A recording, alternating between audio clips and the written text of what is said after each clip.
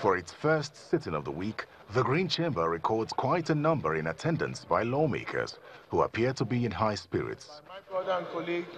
When the business of the day begins, the conversation is not so pleasant as lawmakers express worry over the killings by armed bandits in Kajuru local government area of Kaduna State. They did not only kill the people, they burned down their houses. So people are rendered homeless, they have no food to eat, they have no clothes to wear, they have to live on the benevolence of Samaritans. I'm scared. I don't even know whether I'm happy in this kind of a system that I cannot really visit my loved ones, my relations in the village. It's so pathetic. They are living in fear, they cannot talk. If they talk, they'll be wiped out. We are looking for the investor to come to come and invest.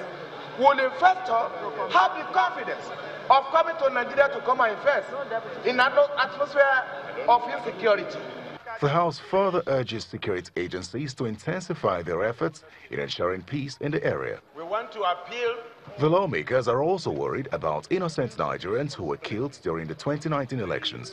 And a motion sponsored by this lawmaker questions the legality of the presence of the military during the process. Further concerned that Nigeria's hard-earned democracy, for which a lot of blood were abundantly shed, is being threatened by the illegal, the alleged illegal use, misuse, and abuse of soldiers of the Nigerian Army during elections in utter disregard to the laws of the land and the several court judgments, mandates the House to one, observe one minute silence in honor of innocent Nigerians who lost their lives in the course of the 2019 and other elections, and sympathize with all those who suffered injuries or sustained material losses during the election.